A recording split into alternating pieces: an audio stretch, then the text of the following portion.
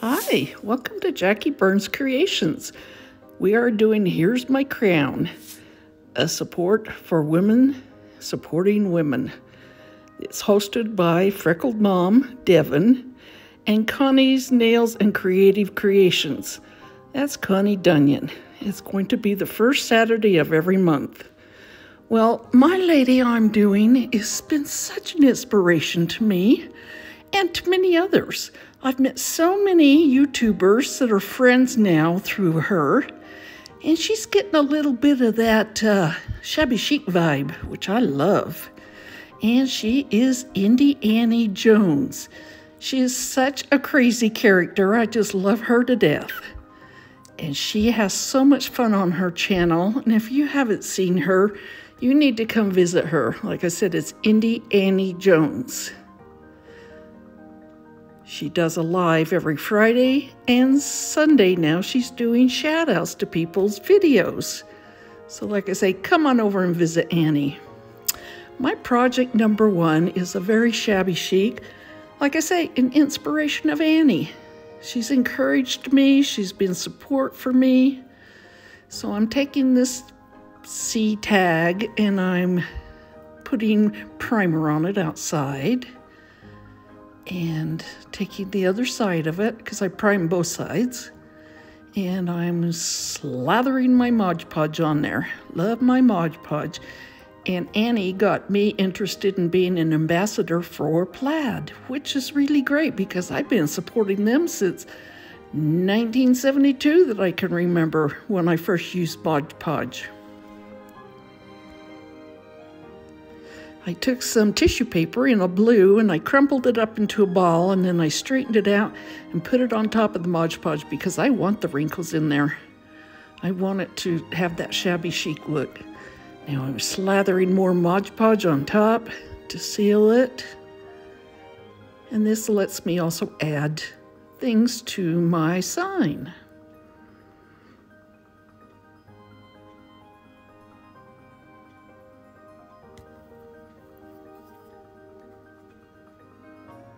And when it's dry, I'll cut off the edges. So I found this old doily handkerchief that uh, I'm putting on it and straightening the lace out. Now I gotta admit, it didn't have as good of effect as the other crochet doily. So I put a piece of that on there.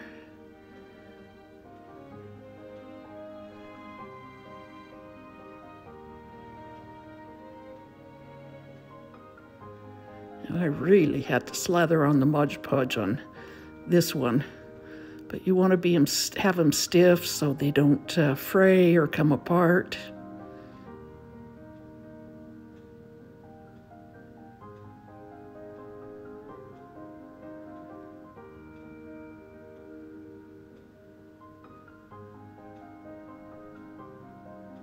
Now I'm putting um, different signs on there different, uh, I don't know, little ephemera that I've picked up here and there.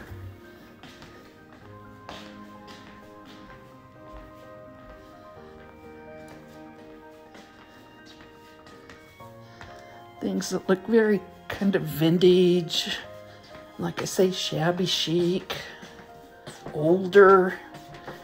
When you're doing something like this, you can put le old letters on, old postcards, old pictures, keys, flowers, whatever you want to put on there.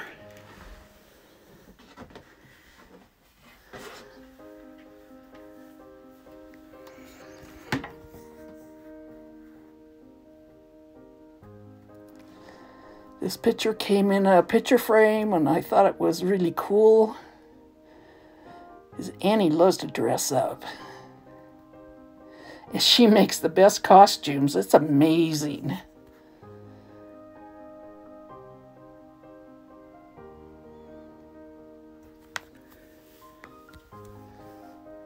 And generous. Oh my gosh, Annie's so generous.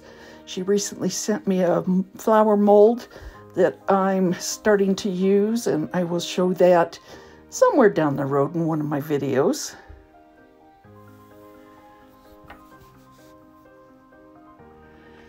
Put a little bird on it. If you ever watched Portlandia, they have a whole episode about put a bird on it. It's hilarious.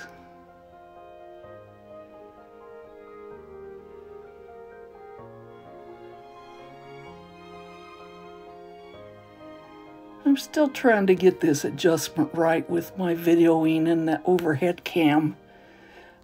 These are uh, transfers I got from Dollar Tree. And I thought, oh, they'd be perfect.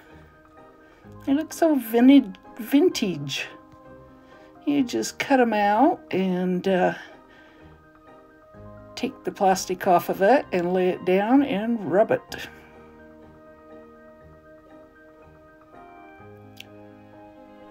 See how I'm doing that?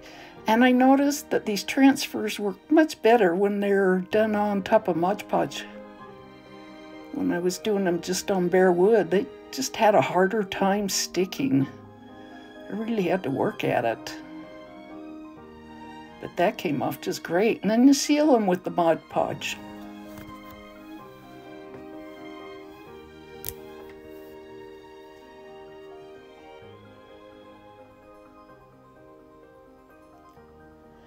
So here I'm putting some flowers on. These flowers came from Amazon and they are gorgeous. They're like cabbage roses. So pretty.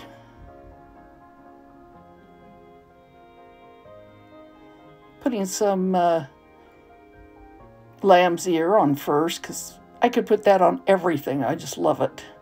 And I usually buy a garland at uh, Hobby Lobby, and it was when they still had the 40% off coupons. So then I can just snip off little bits here and there. So now I'll have to watch it for on sale or pick some up at Walmart.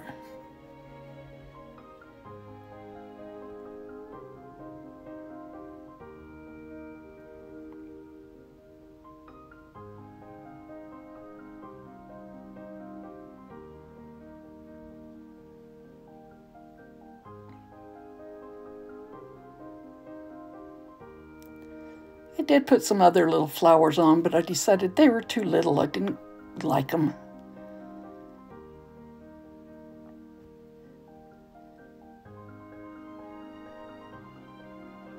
Oh, and here's a little sprig that came off that bunch of flowers. I tied it with the ribbon, just a little lace ribbon I got from Dollar Tree. And straightening out the bow here and I will put a little glue on the back and glue it down.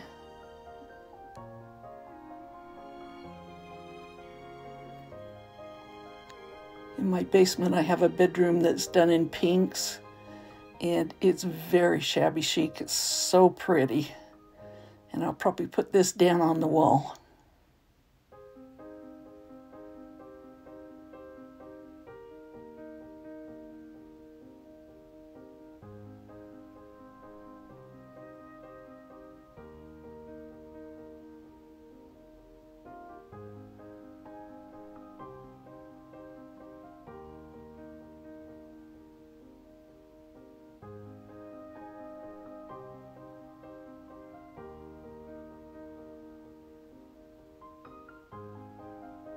Isn't that looking pretty so far?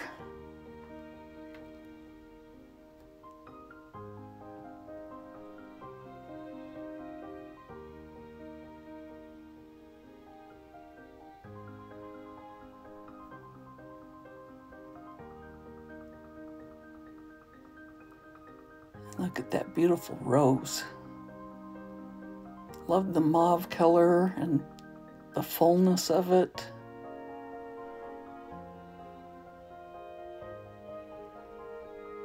So I hope you like that. Project number two. My friend gave me this plate from Hobby Lobby. It was a charger actually. And I'm just cutting out as a rough size to uh, see where I need to put it. The paper came from a paper pad at Michael's I think she paid like $1.74 for the charger. It was on sale. Or maybe it was less. And somebody gives you a present, you don't ask them how much it cost. Just saw a sticker on it. I kind of creased it so I could uh, know where to cut it out to fit the center better.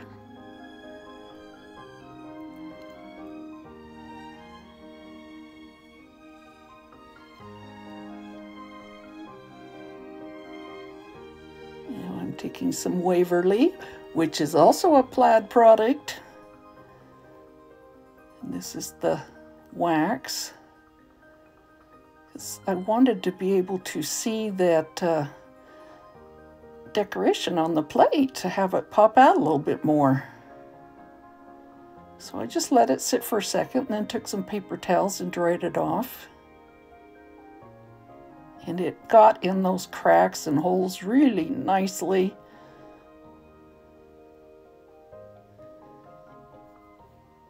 Being on plastic though, you gotta be careful because if you scrape your fingernail against it, it'll take it all off.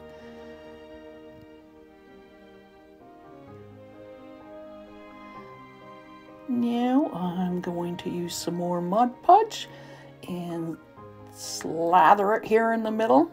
That, that's a technical crafting term, slather.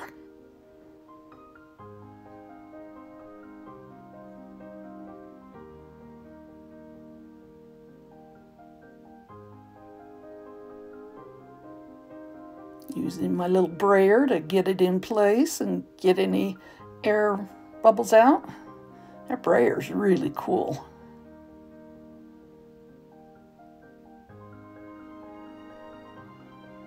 I find the thicker the paper, the less it wrinkles and gets air bubbles in it. So I like to use the Mod Podge with the thicker, um, yeah, what do you call that, scrap paper?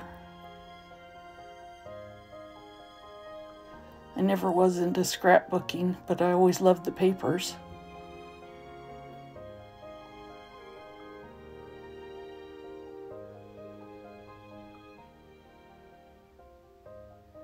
And I sealed it all with the Mod Podge. Set it aside, let it dry for a few hours. Just showing you, I used the matte. They've got gloss, matte, glitter, dishwasher safe, uh, outdoor. Oh, I should have you tried the new one I, they just sent me. It's like an antique, it said. It's a little bit, little more brownish color, but not really. So I had these lemons that I got from Dollar Tree, and I got a bag of three, I think it was. And I decided to cut it in half, and I thought it was just a plastic one that would cut in half real easy. It's actually a foam, styrofoam. So I'm putting some lamb's ear on. And I did cut it with my X-Acto knife, but uh, it didn't go all the way through. And that's when I figured out it was foam. So I did take it over and use a steak knife on it to cut it all the way through. And it cut really easy.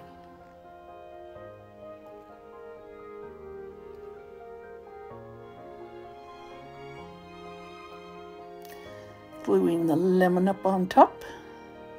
And I love lemons. I loved them before they became popular. I've loved lemons my whole life. When I was little, I used to just eat a lemon. I'd eat everything except the um, seeds. But then everybody kept telling me quit eating them or I was going to ruin my teeth and take the plaque off with the acid. Here I've got a bunch of greenery from Dollar Tree that I'm just cutting off some little tiny picks to give it a little bit of color.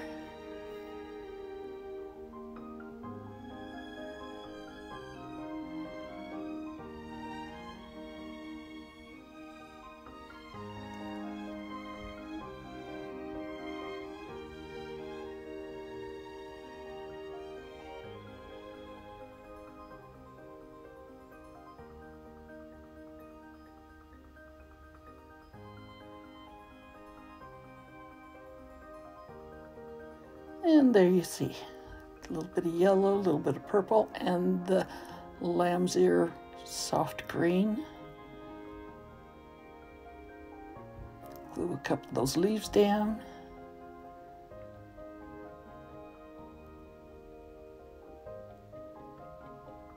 And I really didn't think this needed a ribbon. I thought this was enough because I certainly didn't want it to cover up my sign.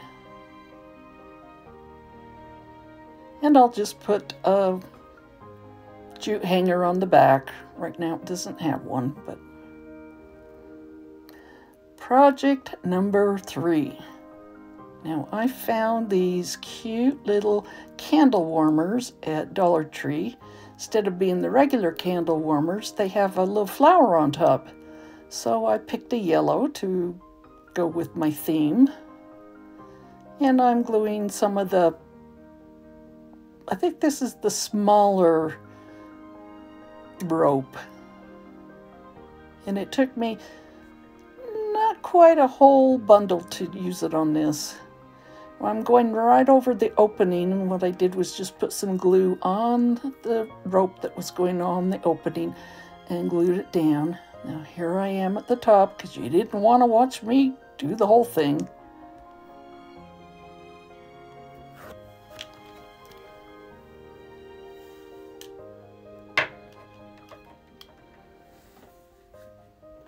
Oh, I took a little bit of the rope and made a circle.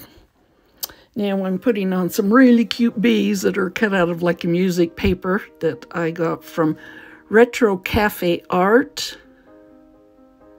I will list them in the description box. And I think these are so cute. And I'm going to put this up on my tier tray with some other bee things I have. And I've loved bees for a long time too because my last name starts with a B. I go by JB53. So I am putting in a little bit of paint to fill in the hole. And here is everything all done. Doesn't it look lovely? Looks so springy.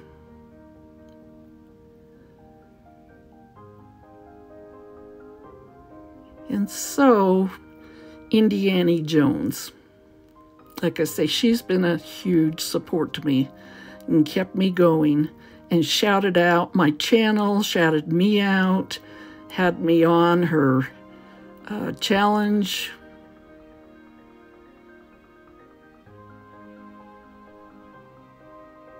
So I just want to thank you, Annie Jones, for being such a good friend.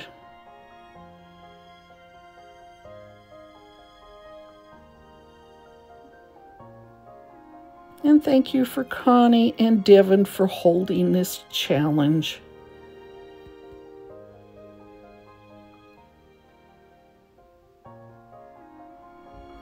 Until next time, go out and spread some kindness, and thanks for watching. Please hit that subscribe button. I will see you later. Bye for now.